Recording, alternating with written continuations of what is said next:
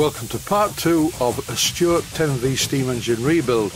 In this episode I will be taking a closer look at the problems, removing the top cylinder cover to expose the piston and unbolting the cylinder from the standard to carefully remove the piston. The upper and lower cylinder covers will also need to be fitted with gaskets. At this stage of the rebuild I'm very concerned about things like sheared bolts and so far the good news is I haven't found any. This is a clip from the previous episode showing the slight amount of wear on the crankshaft at the valve end, which is very unusual. Normally these wear at the flywheel end, but I think, owing to the tightness of the fit of the eccentric rod into the valve fork, applied some unwanted pressure to the crankshaft. So it's worn more at this end than the other end, but it's within tolerance. I've removed all the bolts that secure the top cylinder cover in place and now I can lift it off the top. As you can clearly see it doesn't have a gasket fitted. Gaskets are essential between both the top and bottom cylinder covers and the main cylinder casting. I'll make some gaskets before I refit these parts together. And now I can see the piston. What is wrong with this? It's just a gunmetal piston in a cast iron cylinder but how do I unscrew the piston from the crosshead should I need to remove it? Normally I would drill two holes down into the piston body to take a pair of circlip pliers to do this. I would drill the piston in situ whilst it's fitted to the engine. But as I have to remove the cylinder to allow access to the lower cylinder cover, I will drill the holes in the piston after I've removed it from the engine. At this stage I thought I would try a test fit of some brand new Stuart studs. These are a little bit longer than the ones that were fitted.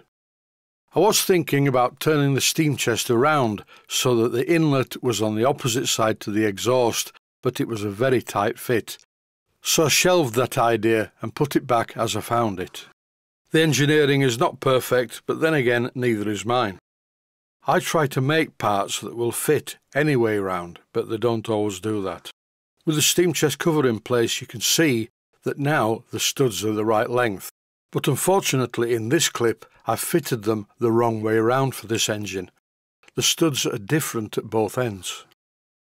In this clip if you look closely you will see that the ends of the studs are threaded for a different length at either end. The longer threads are designed to be screwed into the cylinder casting, and the shorter threads are the ones that the nuts fit on. I got it wrong when I fitted the last stud, so I removed it and refitted it. Time to fit the steam chest in position. Once again I'm demonstrating how the steam chest nearly fits the other way round, but not quite. I've very slightly enlarged the holes in the steam chest and now it fits either way round. The nuts are a perfect fit on these studs and as I tighten the last one in place it's really starting to look good. The threaded part of each of the studs protrudes through the nut exactly the same amount and this looks much better than the previous incarnation. Oddly enough the previous studs were too short. I don't know how they came to be too short as normally Stuart studs are all the same length for a particular application. But now everything's fine and that part of the engine is looking good. What I need to now do is remove the cylinder entirely from the standard, and this is where I'm really hoping that none of the bolts are sheared. So far so good, and the last one tells me that every one of the bolts are 100% and not stripped at all. And the good news is, in this clip it clearly shows that the steam chest will fit the other way around. Moving on, or should I say downwards, onto the flywheel, I unscrewed the pinch bolt that holds the flywheel to the crankshaft. And with this removed, the flywheel just slid off the crankshaft. This flywheel has been modified at some stage. I think possibly originally it wasn't centralised on the crankshaft. And as you can clearly see in this clip, the flywheel boss has been remachined and a bush has been fitted. The flywheel is a perfect fit on the crankshaft and spins concentrically, which is the main thing. This clip shows the engine once I removed the cylinder. The four bolts that held the cylinder to the standard were quite tricky to remove with a small spanner. In the end, I used a nut spinner. And now it's top tip time. I need to remove the piston without damaging the piston or the piston rod. So what I'm doing is using some 600 grade Wet-and-Dry sandpaper which actually grips the piston and allows me to manually unscrew it. I'm not using pliers or a wrench of any kind. I unscrewed the gland nut from the lower cylinder cover and this is what I pulled out of the gland, a very small amount of very dry and very old graphited yarn. I will repack the gland using some Teflon coated yarn, which is a modern equivalent of graphited yarn.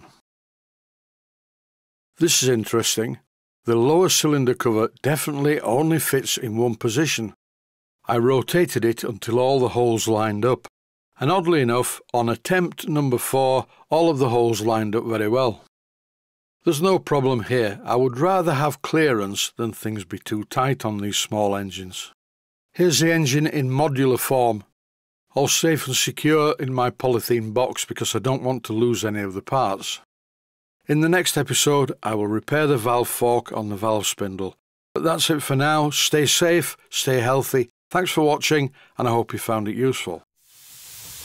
Please take the time to visit my Mainsteam Models website and click on the section of the website that says Video Playlists. And by doing that, you can find other videos that you may like to watch.